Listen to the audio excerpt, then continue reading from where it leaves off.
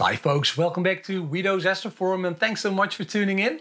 Last week I made a video about how to remote control your astrophotography gear using an ASI Air Plus. Last week on Wido's Astro Forum. If only there was such a wireless device that could control all of your astro gear. That would be something. That wireless device, it already exists and it's called the ASI Air Plus. I got a lot of positive comments on that video, so thanks so much, but also some suggestions and questions, and I wanted to address that in this follow-up video. Without further ado, let's go. So the first question, or actually suggestion, came from AstroJeff717. AstroJeff suggested to power up the ASI Air Plus by using the 12 volt power output I have on my ZWO AM5 mount. I think that's an excellent suggestion, so thank you, Jeff. So if you own that harmonic drive mount, the ZWO AM5, you will see that there is a 12 volt power output on that mount. You can use a cable to actually use that power output to power up the ASI Air Plus. I would highly recommend to do it like that because it saves you from having to use an external power source. So in my previous video, I also checked out the Wi-Fi range of the ASI Air app and from my balcony, I came to about 10 to 20 meters, 30 to 60 feet if you live in the US. And Mavasi, if I pronounce your name correctly, made an excellent suggestion. He suggested to use what is called the station mode in the ASI Air app. So let me try to explain what that is. When you're standing next to your telescope on your balcony or in your garden, you can actually use station mode to connect the Wi-Fi signal of the ASI Air Plus wirelessly to your home Wi-Fi network. And what that does is when those two uh, signals are actually connected, you are not limited to that 10 or 20 meters or 30 to 60 feet. Uh, wherever you have access to your home Wi-Fi network, you can log into the ASI Air app and just look at the live status of all of your astro gear and your imaging camera, your images and so on. So in the previous video I also showed you that I mounted my ASI Air Plus on the side of the ZWO AM5 using the saddle option. And I didn't run into any issues but I know ZWO doesn't recommend that particular mount to be used in combination with the ASI Air Plus. Well I got some reactions especially from Heavy Johnny. So hello Heavy Johnny if you're watching. Um, he said that yeah uh, I found out the hard way, I'm paraphrasing a little bit, uh, that you shouldn't uh, use that particular solution because uh, apparently he crashed some of his Astro gear or he ran into a cable snag. Um, Heavy Johnny, hopefully most of your Astro gear is working still and hopefully you didn't suffer too much damage. I actually ordered a new saddle. I will put it on top of my telescope to avoid such a collision. In the previous video I compared using the ASI Air Plus to a mini PC to remote control your Astro gear and I actually showed you my personal mini PC which was the HP Elite Desk.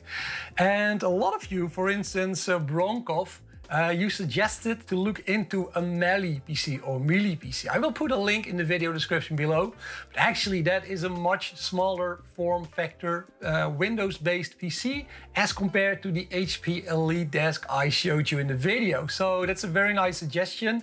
And uh, yeah, of course, such a small form factor PC can be mounted on a telescope mount or on your telescope. So that's awesome.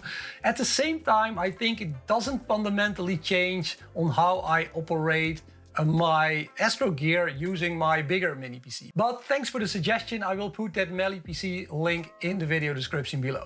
So a lot of you folks also complained about the fact that a lot of your Astro gear won't connect to the ASI Air Plus. For instance, Clive Roberts, hello Clive if you're watching, uh, said that, hey, I'd be interested in a device like the ASI Air Plus, but uh, unfortunately my QHY and Altair cameras won't connect to the ASI Air. And uh, last week I also showed you that my Oasis autofocuser, so an autofocuser from a different brand, was not recognized by the ASI Air Plus. We can safely say that ZWO is very much a commercial company. It's creating their own Astro gear and their own closed ecosystem, right? So we have ZWO telescope mounts, cameras, filter wheels, autofocusers, uh, and now also this closed ecosystem running on devices like the ASI Air Plus, where you can run your ZWO gear smoothly and remotely.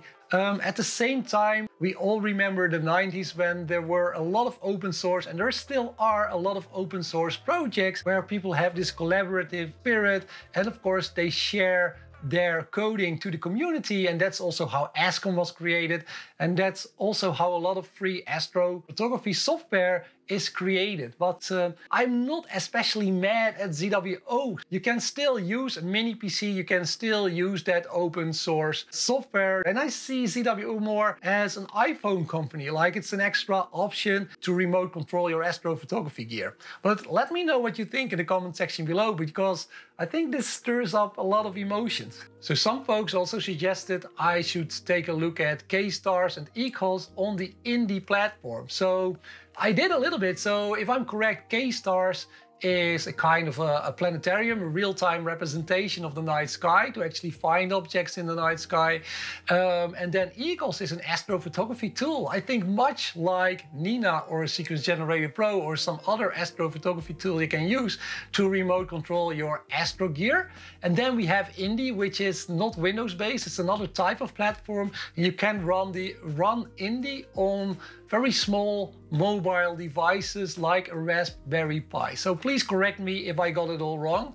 I was thinking, oh, this whole process sounds a lot like using a mini PC to me. So you're going to install INDI as a platform on a small device like the Raspberry Pi. You're going to install Ekos and K-Stars. And there was one device called the StellarMate. It was actually more like a plug and play device, but uh, I think the, the, the, real difference now is that the ASI Air Plus, when you switch it on, it has all the astrophotography software already pre-installed. You can immediately use it without having to install a platform, without having to install all kinds of separate programs. The difference is not only that the ASI Air is a plug and play device, um, because I could state, hey, I have a mini PC, I'm going to install all the software I need on that mini PC, or I'm going to install all the software I need on an INDI device like a Raspberry Pi. And then I, when the software is up and running, I have a similar experience. I actually don't think that is the case. Why not? Well, because uh, ZWO worked hard on creating a very user-friendly mobile interface. So you see a lot of icons, a lot of big screens. The whole interface is touch-based. It's designed to be touch-based, to be used on a phone or a tablet. Whereas when I'm running Nina or Sequence Generator Pro, or maybe also Ekos, even when I log in from my phone to that mini PC, because you can do that. You can use your phone or your tablet and you can then log in to your mini PC or your Raspberry Pi and you will see Sequence Generator Pro, you'll see Nina, you see Ekos, but all of those user interfaces, I think at least, are more designed towards having a big screen and having a mouse to click on the top menus and those top menus they will fold out and you will have sub menus you click those sub menus very much designed I, I'd say like the 90s still. So I think that's another main difference that when you're going to use a mobile device or a tablet, you're going to have this positive touch-based user experience uh, with the ASI Air uh, Plus. So let's move on to some other comments. For instance, Marcel Post 4052, he really liked the review. So thank you, Marcel. But at the same time, he said, please keep the damn music down. The volume is just too loud. So Marcel, I will try to do so in my next videos. Thanks for the feedback.